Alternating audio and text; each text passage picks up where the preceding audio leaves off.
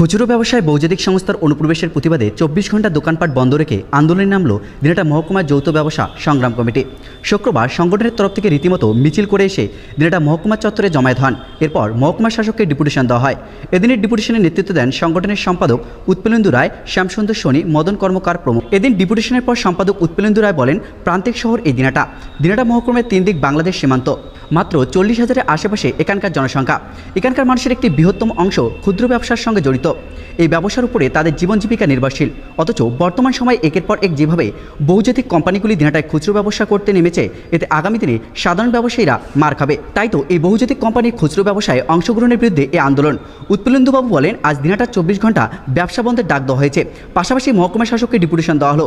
প্রয়োজনে আগামী দিনে পুজোর আগে এই বহুজাতিক কোম্পানিগুলির বিরুদ্ধে অনির্দিষ্টকালের জন্য ব্যবসা বন্ধের ডাক দেওয়া হবে। এদিন সংগঠনের তরফ থেকে দিনাটা মহকুমা শাসক হিমাদ্রি সরকারের হাতে স্মারকলিপি তুলে দেওয়ার সময় সমস্যাগুলি নিয়ে সংগঠনের নেতৃত্ববৃন্দের সঙ্গে আলোচনা হয়। সমস্যাগুলি উদ্যতন কর্তৃপক্ষের কাছে পাঠানো হবে বলে মহকুমা শাসক সংগঠনের নেতৃত্বদের আশ্বাস দেন। এর আগে সংগঠনের তরফ থেকে দিনাটা পৌরসভার প্রশাসক মণ্ডলীর চেয়ারম্যানের কাছে একটি স্মারকলিপি তুলে দেওয়া হয়। সেখানে চেয়ারম্যান গৌরীশঙ্কর মাহেশ্বরীর সঙ্গে সমস্যাগুলি নিয়ে বিস্তারিত আলোচনা হয়। বহিরাগত প্রাইভেট লিমিটেড কোম্পানিগুলো যেভাবে অনুপ্রবেশ রুখতে আমরা আজকে দিনাটা পৌরসভা এবং দিনাটা মহকুমা শাসকের করণে ডেপুটেশন দিলাম। আপনারা প্রত্যেকে জানেন যে দিনাটা একটা প্রান্তিক শহর। শিল্পবিহীন এই শহরে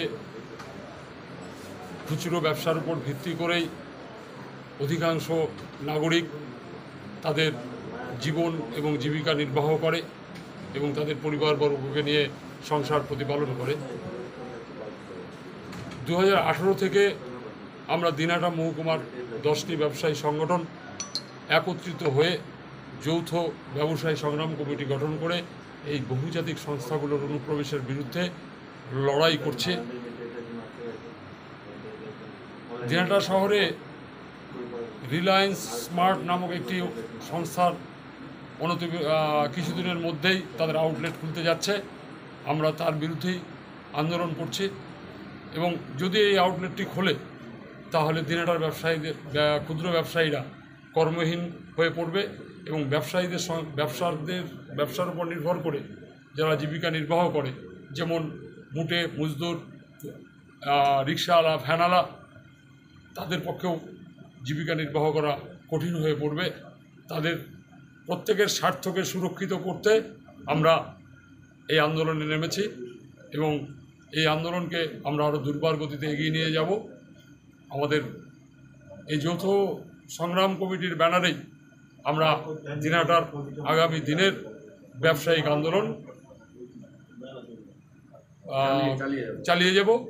সুতরাং আমরা দিনাটার সর্বস্তরের নাগরিকের কাছে আমাদের সহযোগিতা যাচ্ছি।